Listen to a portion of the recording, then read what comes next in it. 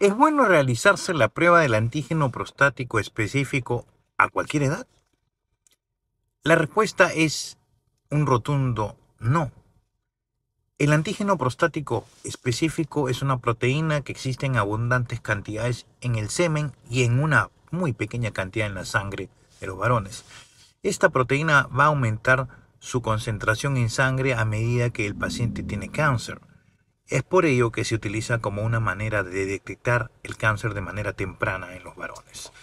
Esta molécula se estudia para screening en varones a partir de los 50 años sin antecedentes familiares o en aquellos varones que tienen familiares directos con cáncer de próstata como sus padres o sus hermanos deben hacerse los screenings a partir de los 45 años.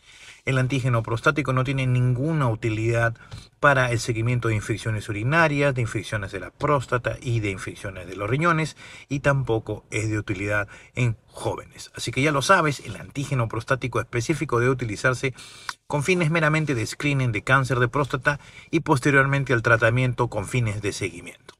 Si quieres conocer más sobre este interesante tema, no dudes en escribirme. Nos vemos.